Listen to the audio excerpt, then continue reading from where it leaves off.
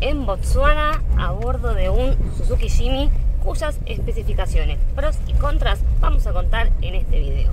Estamos en Botswana, en un parque nacional, en una reserva de Moremi, bueno, donde los caminos se pueden apreciar.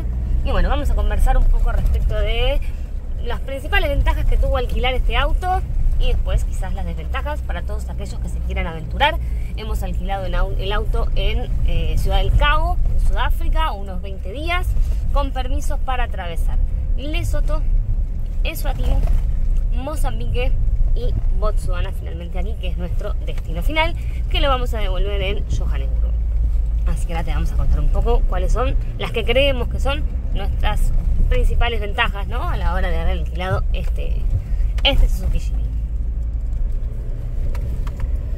Suzuki Jimmy le estamos haciendo casi 10.000 kilómetros por el sur de África. Lo pasamos, bueno, como ven acá por arena, arena bien suelta, que pasan las camionetas, las Toyota principalmente, de safari, y no se queda, no tiene problemas, tiene una buena distancia al piso. Eh, lo hemos puesto a andar por las piedras en Lesoto, trepando montañas con piedras grandes y pasa perfecto. Tiene buenas asistencias, tiene asistencia de descenso, tiene asistencia en cuanto a lo que es derrape, eh, tiene, tiene buenas correcciones, tiene muy buenas luces, lo usamos acá también en Botswana.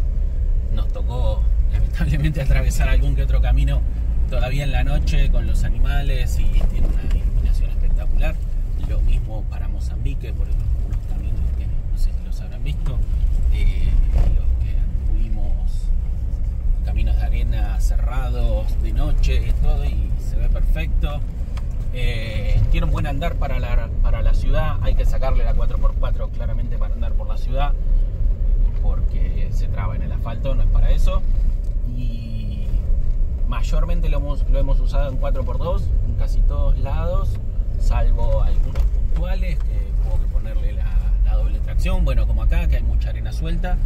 Y lugar que nos hemos quedado por tener que bajar la velocidad por algún animal o por alguien que venía de frente, eh, tiene una baja que es espectacular, que te saca de donde sea.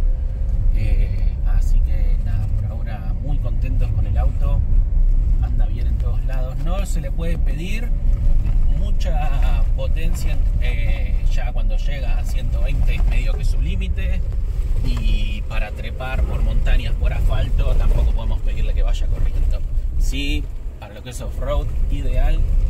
Eh, y la única queja que, que, tendríamos es que quizás el tanque de nafta podría ser un poco más grande carga solo 40 litros, pero rinden 500 kilómetros prácticamente en casi cualquier condición de, camino, lo cual está bastante bien, pero bueno, si tuviera un tanque de 50 estaría.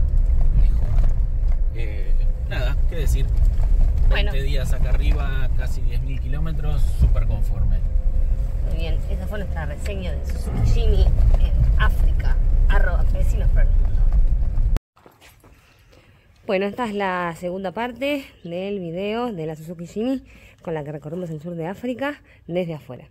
Bueno, eh, lo buenísimo que tuvo para mí, que no soy la que conduce, es que tenía eh, cinco puertas. Lo cual, ahora que nos estamos yendo, tenía la posibilidad de guardar cosas, sacar cosas, porque bueno, es bastante útil. Porque incluso nos tocó una noche dormir en el auto. Vamos a decir que eh, fue bastante cómodo. Carga, carga, como ven, dos valijas. Bueno, tiene acá la rueda, la verdad es que mm, eh, fue cómodo, cómodo de, adentro. Em, sí, por ahí acá tiene poco lugar de guardado, eso es lo que no me gustó a mí, que soy la acompañante. Em, pero bueno, después, bien, bien, tiene, tiene buenos espacios, la verdad es que tiene una linda guantera. Eh, cómodo, parece cortito, pero no lo es. Así que lo cierto es que nada, me quedé como contenta. Y bueno, hoy nos despedimos de él, le pusimos Nelson. sí, se recorrió Sudáfrica, le pusimos Nelson y bueno, hoy lo vamos a devolver a Johannesburgo. Esto fue nuestra reseña del Suzuki Jimmy en arroba vecinos por el mundo.